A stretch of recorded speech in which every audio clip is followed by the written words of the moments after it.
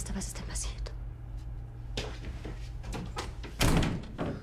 Stellen Sie sich vor, Frau Junge, der Führer will, dass ich Berlin verlasse. Er hat mir den Befehl dazu gegeben. Ich habe noch nie einem Befehl des Führers zuwidergehandelt. Nie.